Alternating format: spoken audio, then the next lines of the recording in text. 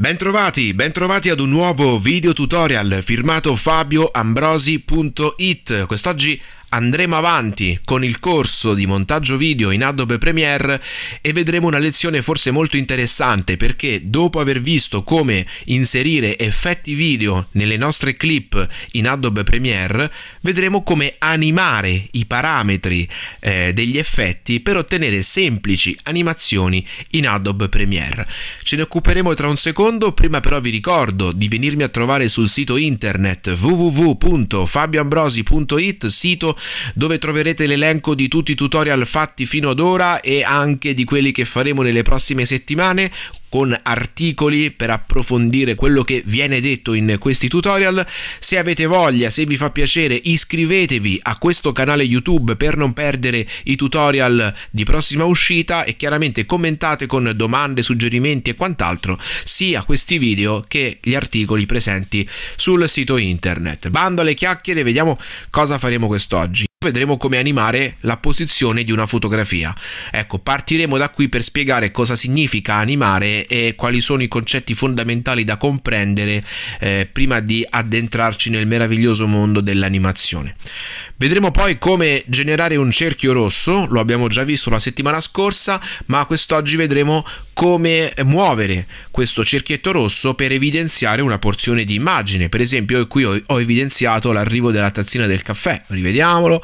Oh, questo può essere molto utile se dovete, per esempio, montare un servizio televisivo eh, su una partita di calcio, dovete evidenziare un'azione, un personaggio eh, che corre, un calciatore che corre, volete eh, magari evidenziare una posizione di fuorigioco, quello che volete, ecco, mettere dei cerchietti che evidenziano no? può, essere, può essere una soluzione. D'altronde eh, spesso capita di vedere questo in molti servizi giornalistici e vedremo come si realizza.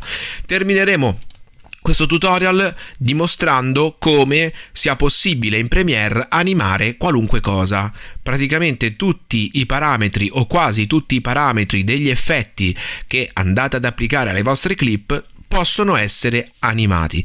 In quest'ultima dimostrazione io ho uh, usato un pizzico di color correction per dare dei colori freddi, una temperatura fredda a questa immagine e ho utilizzato la possibilità di animare il parametro della temperatura del colore per scaldare l'immagine a mano a mano che il caffè riempie la tazzina, vedete che l'immagine assume delle, delle tonalità un pochettino più calde e ho concluso questa dimostrazione eh, mandando l'immagine in bianco e nero, quindi togliendo completamente i colori, desaturando completamente eh, l'immagine. Cominciamo subito, vediamo di eh, fare tutti e tre questi esempi partendo da, dal primo, quindi come animare una fotografia. Prima però dobbiamo parlare di un concetto importantissimo eh, nel mondo dell'animazione digitale. Quello che sto per dirvi vale sia per Adobe Premiere, sia per Avid, sia per eh, la grafica computerizzata, per eh, gli effetti speciali più complessi che vedete al cinema. È un concetto fondamentale nel mondo dell'animazione digitale, quello dei keyframe, chiamati in italiano fotogrammi chiave. Che cos'è un fotogramma chiave? Un fotogramma chiave è un fotogramma particolarmente importante perché è il fotogramma che eh, contiene le informazioni dello stato dell'oggetto che noi stiamo animando in quel momento. Sarà tutto molto più chiaro tra un secondo con un semplice esempio. Io voglio muovere questa fotografia, ok? Voglio farla uh, muovere da sinistra verso destra. Allora, io intanto devo capire dov'è la posizione, dov'è il parametro che mi permette di controllare la posizione di questa fotografia.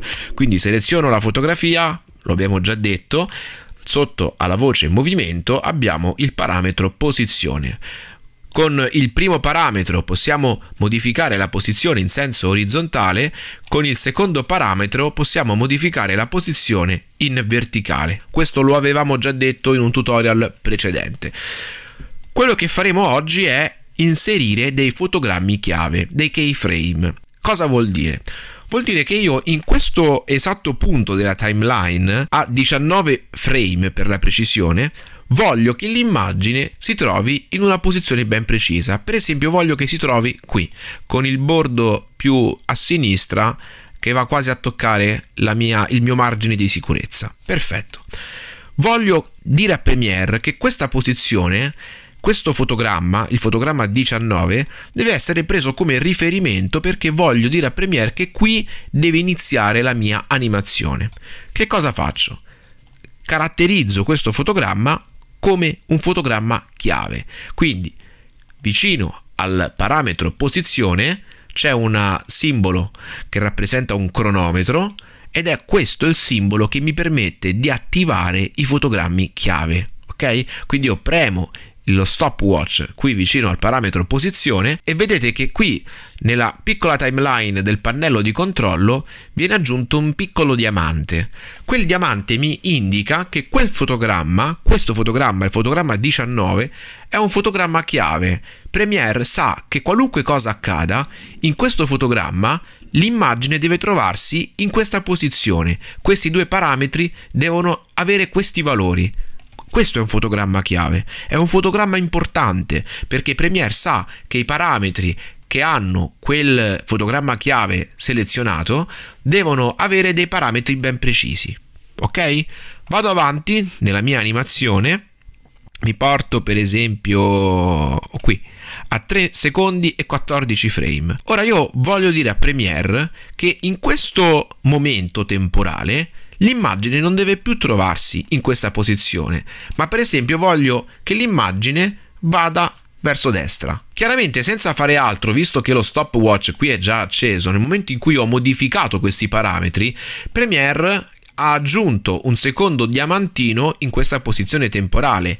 Che cosa significa? Significa che Premiere ha reso il fotogramma presente a 3 secondi e 14 frame un fotogramma chiave. Quindi Premiere sa che in questo momento temporale la mia immagine deve trovarsi in questa posizione, ovvero verso destra. Quindi ricapitolando, avevamo detto che all'inizio di tutto l'immagine deve trovarsi a sinistra in questo esatto momento temporale e alla fine di tutto in questo momento temporale l'immagine deve trovarsi verso destra. Questo è il significato di fotogramma chiave. È un fotogramma che contiene le informazioni del parametro che noi stiamo modificando. Appunto, un fotogramma chiave, un fotogramma più importante rispetto agli altri fotogrammi. Ora, se io mi porto all'inizio della mia clip e premo la barra spaziatrice per mandare in play, guardate cosa accade. Premiere sostanzialmente ha capito che nel punto A il video deve trovarsi a sinistra, nel punto B il video deve trovarsi a destra e i fotogrammi intermedi tra il punto A e il punto B vengono modificati di conseguenza con un'azione che viene chiamata interpolazione, ovvero Premiere automaticamente sa che valo- questi valori devono essere modificati per fare in modo che dal, dal punto A arrivino al punto B. Questo è il concetto di fotogramma chiave ed è così che si animano le proprietà presenti nelle, nelle clip e negli effetti di Adobe Premiere. In realtà questo è un concetto che va oltre Adobe Premiere perché in qualunque software di animazione, di grafica 3D, anche in After Effects, eh, in Avid, eh, anche nel, nei software musicali, a dire la verità, esiste questo concetto di fotogramma chiave, di keyframe.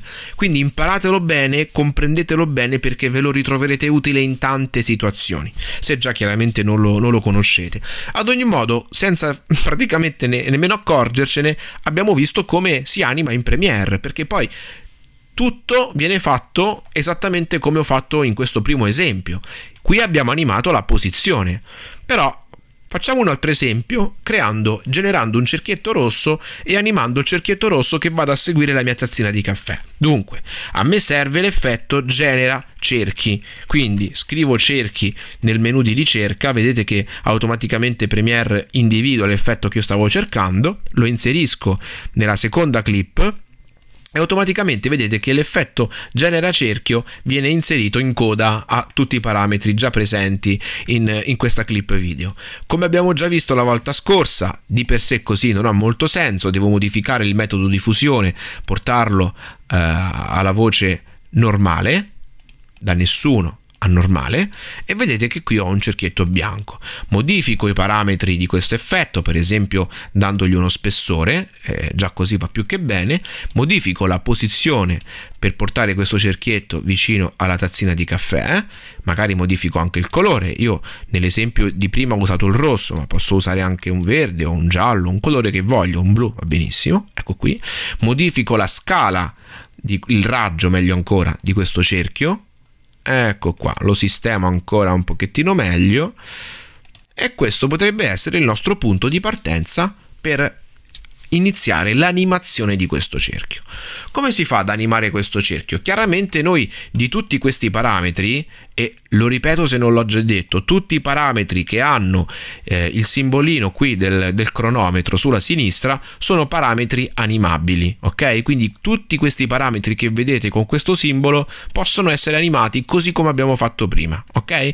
In questo caso io quale parametro voglio andare, andare ad animare? Chiaramente il parametro del centro, il parametro del centro, lo abbiamo già visto prima giocandoci, è il parametro che mi fa cambiare la posizione di questo, di questo cerchio. Perfetto, allora io posiziono il cerchio, ok, nel punto di partenza da cui voglio far iniziare l'animazione. Oh, io chiaramente sono partito da questo punto, eh, posso anche partire eh, più avanti o più indietro, il punto di partenza è totalmente a, vostro, a vostra scelta. Io mi metto in questo frame, sistemo ancora una volta ok il cerchio.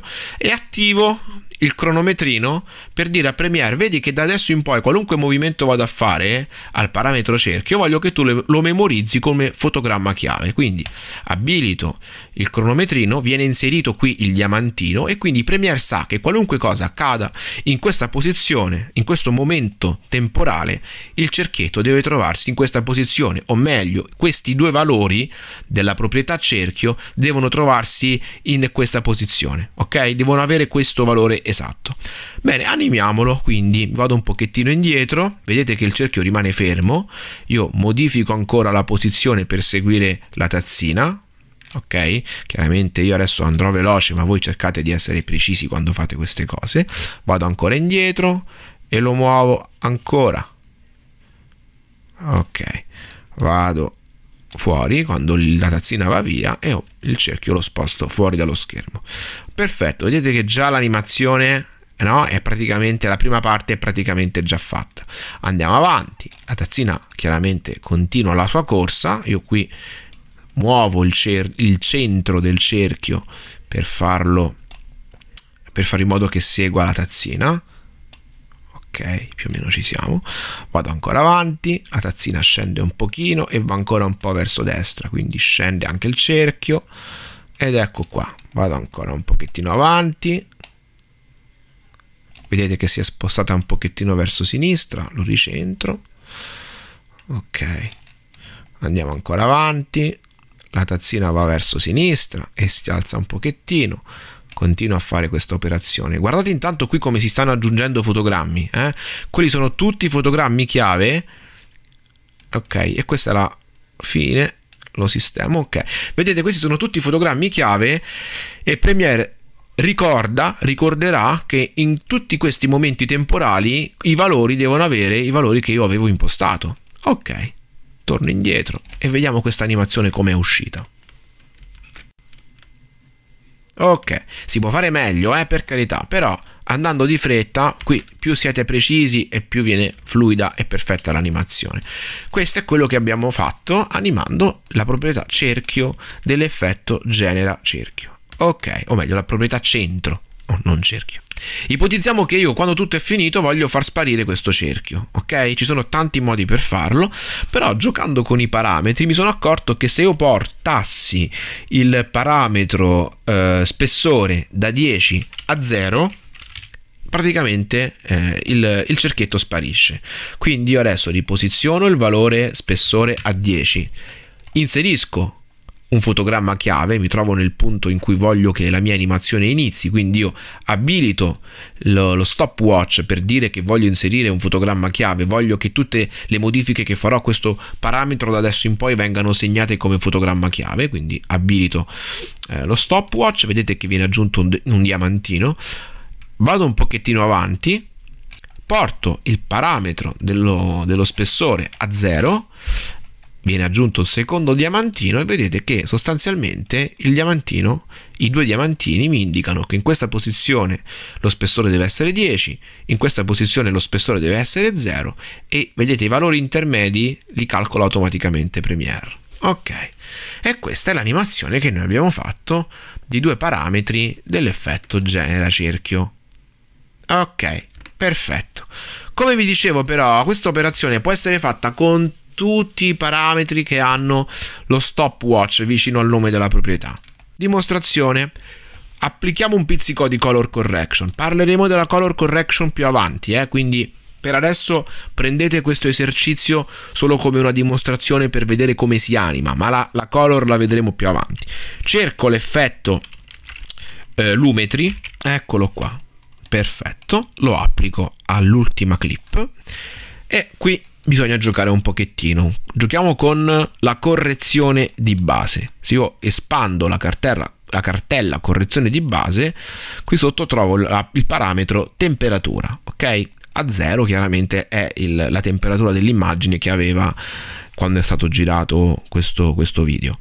Abbasso questo parametro e vado a freddare l'immagine. Ok, perfetto.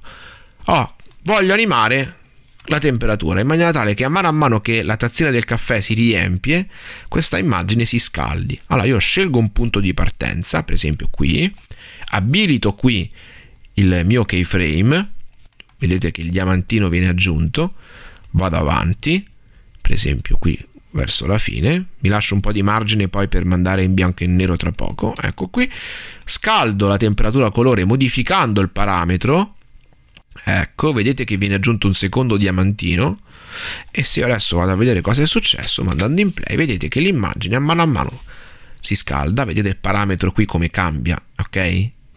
Perché chiaramente Premiere sa che in questo punto il parametro deve avere questo valore, in quest'altro punto il parametro deve avere quest'altro valore e tutto quello che è nel mezzo viene calcolato da Premiere.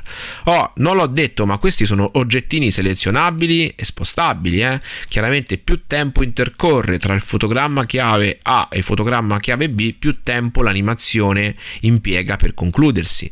Se io questi due quadratini, questi due diamantini li mettessi vicinissimi uno all'altro, tutto avviene molto più rapidamente, no? Addirittura se io li metto molto vicini, praticamente il cambiamento è istantaneo, quindi la velocità dell'animazione dipende dalla distanza di questi due diamanti, ok? Questi possono anche essere rimossi selezionandoli e premendo il tasto canch sulla tastiera. In questo caso tutto rimarrebbe bloccato al primo fotogramma chiave, CTRL Z per annullare, riposizioniamo più o meno dove si trovava prima, ecco qua. In questo modo ho animato il parametro temperatura dell'effetto colore lumetri.